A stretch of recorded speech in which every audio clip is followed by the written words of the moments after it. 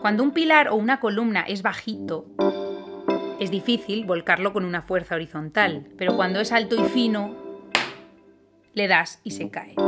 Entonces, ¿cómo coño hacemos edificios altos?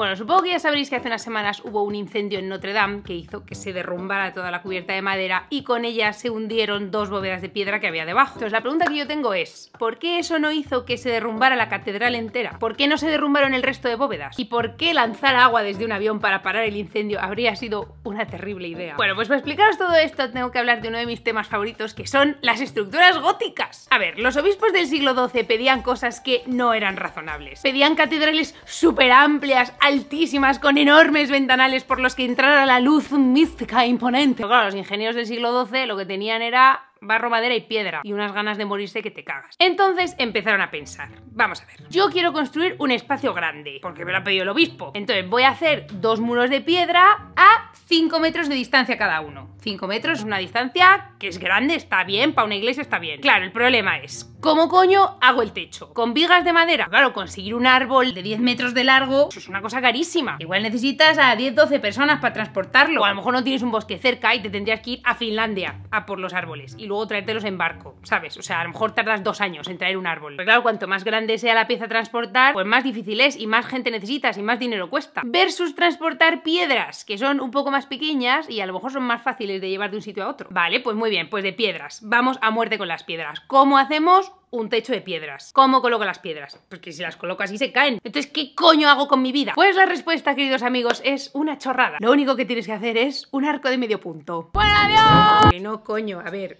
voy a contar la movida. El arco de medio punto es un invento ingenieril maravilloso, porque te permite cubrir una distancia muy grande con un montón de cachos de piedras o de barro cocido muy barato. ¿Entiendes? O sea, que no te hace falta irte a Finlandia por un pino o un abeto. Es que no sé qué árboles son los de Finlandia. Bueno, un árbol muy grande, coño. ¿Ha quedado claro? Pero claro, los arcos tienen un gran problema. Y es que si tú pones una viga plana, la fuerza que reciben los muros es directamente hacia abajo. En cambio, el arco transforma las cargas verticales que actúan hacia abajo en cargas inclinadas. O sea que aquí hay un empuje horizontal del arco. Entonces los muros tienden a abrirse por arriba, que el arco les está empujando. ¿Entiendes lo que te digo? En tres dimensiones, el arco de medio punto sería equivalente a una bóveda de cañón. Entonces la bóveda de cañón se apoya a lo largo de todo el muro y lo empuja hacia afuera y entonces tiende a abrirlo. Claro, para evitar eso, los muros tenían que ser súper gruesos. O sea, hacían unos muracos que te cagas, de a lo mejor dos metros de ancho, ¿vale? Para que te hagas una idea, muy anchos. Y tú me dirás, Ter, ¿y a mí qué coño me importa todo esto? ¿Tú te crees que estoy yo ahora como para saber cómo hacían los muros en el siglo XII, ¿eh? Con la cantidad de cosas que tengo encima. Pero es que tenían un problema, y es que las iglesias al final parecían un túnel. No tenían luz, eran una bajona. Y tú me dirás, pues Ter, que abran una puñetera ventana, a mí que me cuente. Pero a ver, que no estás atento, que hemos quedado que los muros tienen que ser muy gruesos para aguantar el empuje horizontal de la bóveda. Tú no puedes abrir una ventana en ese muro. Si tú abres el muro aquí con tus santos huevazos, se hunde todo. Como mucho puedes abrir un, pequeño ventanuco, ¿eh? Que no os estáis Entonces, claro, aquí había un problema gravísimo, que es que el obispo quiere ventanas, tú quieres ventanas, todos queréis ventanas, pero aquí no se pueden abrir ventanas. Vale, y entonces, ¿qué coño hacemos con nuestra puta vida? Bueno, pues te lo voy a decir. Lo que hay que intentar hacer es que ese muro no sea el que aguante todo el peso de la bóveda. Engrosamos aquí un poco el muro, justo aquí hacemos unos arcos con piedras mucho más grandes para que funcionen a modo de nervios y entonces así estamos concentrando las cargas en estos puntos y así estas zonas de aquí soportan un poco menos de carga y entonces se pueden abrir ventanas un poquito más grandes, ¿vale? Bueno, no está mal, no está mal, estamos haciendo lo que podemos, ¿eh? Con piedra, acuérdate. Hemos pasado de esto a esto. Entonces ahora llegan los ingenieros del siglo XII y dicen...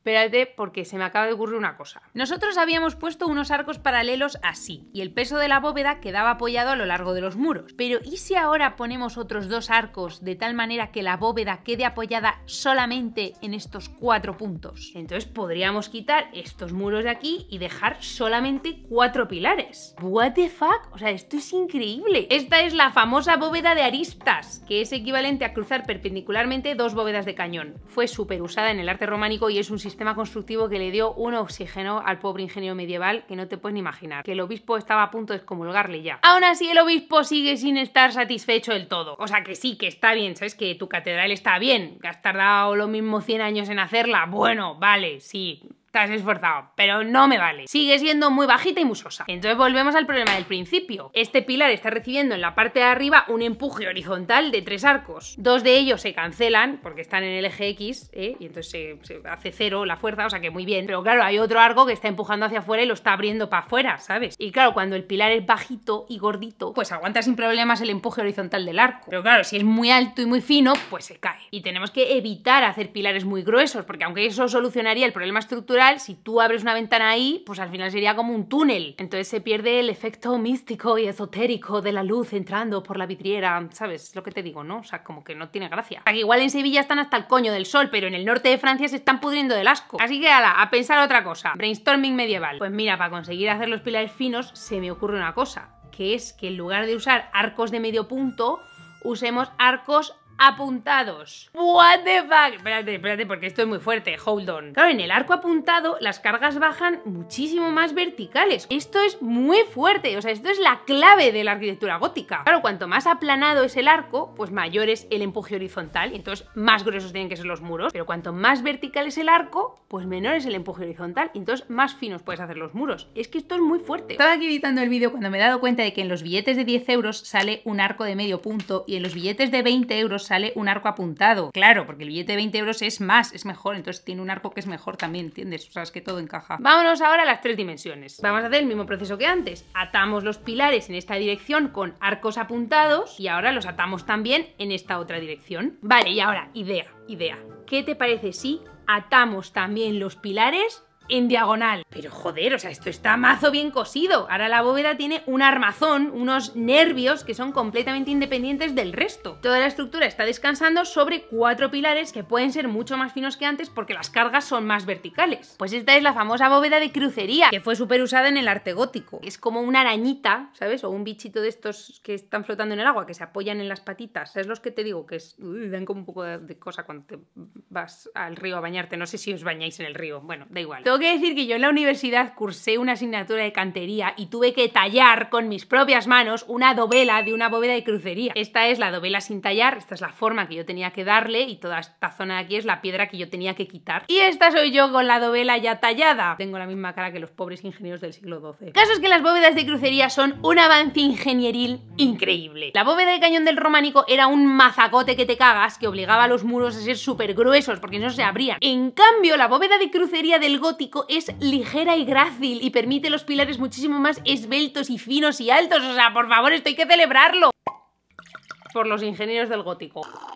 Pero entonces llega el señor obispo y te dice que sí, que muy bien, que dónde coño están mis vidrieras, dónde está mi rosetón, ¿eh? Que yo quiero un rosetón de 12 metros de diámetro, coño. Poneos las pilas de una vez, que Dios no espera. Pero claro, hay un problema, son todos problemas, como la vida. Vamos a fijarnos en este pilar. Este pilar recibe las cargas horizontales de estos dos arcos laterales que realmente no cuentan porque se contrarrestan. Luego recibe las cargas horizontales de estos dos arcos diagonales y de este arco de aquí. Con lo cual al final el pilar recibe un empuje horizontal bastante notable entonces, ¿qué podemos hacer para mantener el pilar fino y alto y que no se abra? Bueno, pues lo que podemos hacer es engrosar el pilar hacia afuera. Estos son los famosos contrafuertes que ayudan al pilar a contrarrestar el empuje horizontal de las bóvedas. Pero claro, como veis, las cargas bajan muy torcidas hasta el suelo. Si se salieran del contrafuerte, entonces la estructura se caería. Hay un elemento que ayudaría mucho a que las cargas no bajaran tan torcidas, que son los pináculos. Los pináculos son pesos que se ponen encima de los contrafuertes, porque ayudan a redireccionar el empuje horizontal de la bóveda a un recorrido mucho más vertical hasta el suelo. Entonces, esto mola mucho porque es bastante antiintuitivo, ¿no? Porque claro, uno podría pensar que poner más cosas encima del muro pues va a ser peor, ¿no? Porque es como bastante tiene ya el muro con lo que tiene, no le pongas más cosas. En realidad los pináculos, como son un peso estrictamente vertical,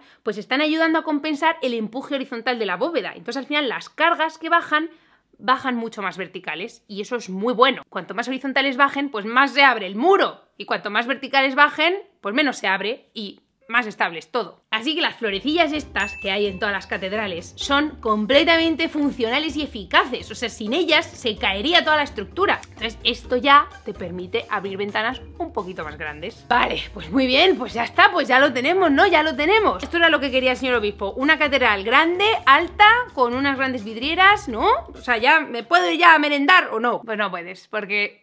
It's all fun and games hasta que llega el señor obispo y te dice que él no quiere una iglesia de una sola nave. Que eso es una cosa miserable y ordinaria. Que él quiere una iglesia de cinco naves. De cinco. O sea, una en el centro y luego dos a cada lado.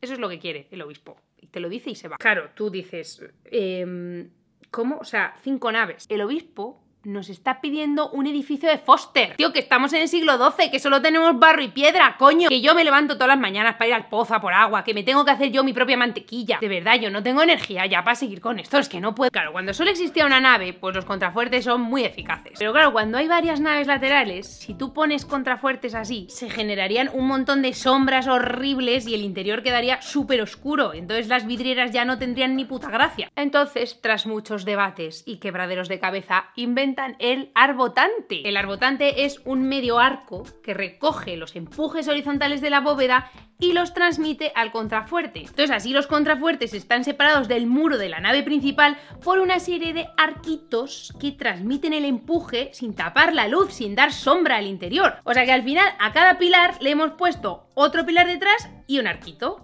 y otro pilar detrás y otro arquito, y así le van ayudando a soportar todo ese empuje horizontal de la bóveda. Esto es lo que comúnmente se denomina pasarle el marrón a otro. Es una estrategia muy útil en la vida. Cuando algo te abruma, igual que a este pilar le abruma todo el peso de la bóveda, pues le pasas el problema a otro. Este pilar realmente está haciendo lo mismo, le está pasando el problema al otro pilar, le está diciendo que te jodas. Es una cosa que pues es muy normal en la vida. Claro, ahora con este sistema de arbotantes, contrafuertes y pináculos, el muro ya no está sosteniendo las bóvedas. Entonces ya puede ser tan fino, tan fino, tan fino que puede desaparecer y ser sustituido directamente por una gran vidriera. Porque lo que sostiene el peso de las bóvedas es este tremendísimo esqueleto que parece el esqueleto de un dragón. O sea, ahora aquí ya el muro ni entra ni sale, ¿sabes? ¿Cómo veis hacer un edificio así de alto y de esbelto con piedra? Es una absoluta hazaña de la ingeniería estructural. Así que ya por fin, entendiendo todo esto, podemos hablar de Notre Dame.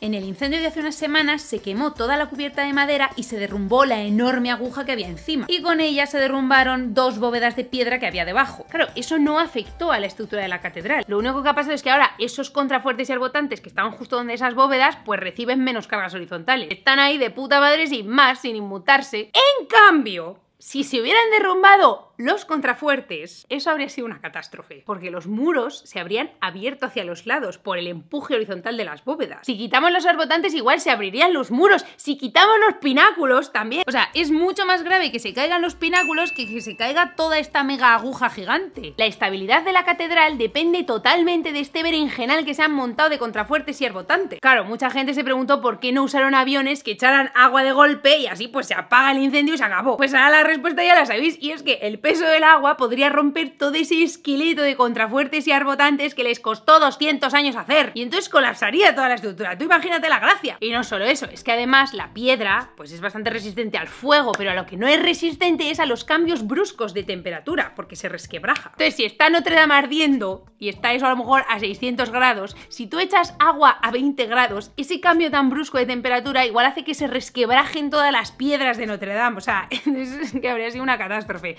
Pero claro, pues no lo hicieron porque ellos saben lo que hacen, ¿sabes? Hacer un edificio así de alto y de esbelto con piedra es que es una puta locura. O sea, tú has visto el tinglao que se tuvieron que montar para hacer una cosa que a día de hoy es muy fácil de hacer. Porque en el siglo XXI tenemos acero y hormigón armado. Y esos materiales, junto con técnicas constructivas que se han desarrollado en los últimos 100 años, pues nos permiten hacer edificios inmensos que no se caen. O sea, si un ingeniero del siglo XII pudiera ver la T4 de Barajas de Madrid, o el Estadio del Atleti, o simplemente la estación de Atocha, se habría puesto a llorar, no habría podido parar de llorar nunca y habría muerto llorando mirando, ¿sabes? Que no es que en la Edad Media no tuvieran acero, lo que no tenían era acero en grandes cantidades porque no entendían muy bien cómo funcionaba. Más adelante, en el siglo XIX, durante la Revolución Industrial, se estudiaron las propiedades del acero, se desarrollaron nuevas técnicas de producción y construcción y todo eso permitió generar piezas de acero enormes en grandes cantidades, perfiles de varios metros, tubos inmensos, chapas, o sea, una fantasía que te caga. Es que es una gloria, o sea, de verdad es una gloria. Las nuevas tecnologías me parecen fenomenales. Entonces, ahora podemos usar vigas súper largas de acero, de hormigón armado. Las vigas transmiten las cargas verticalmente, así que los muros pueden ser muchísimo más finos. Y por eso la viga es uno de los instrumentos más importantes de toda la tecnología de las estructuras. Y es lo que se utiliza en todos los edificios de ahora. Porque en el siglo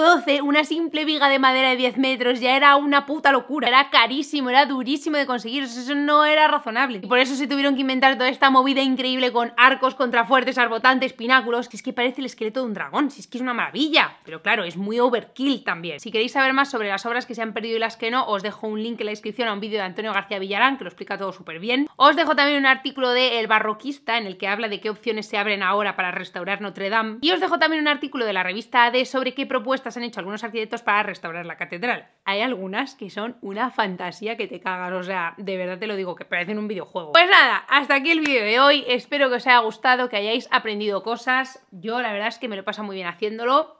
No estoy borracha. Que nos vemos muy pronto. ¡Bueno, adiós!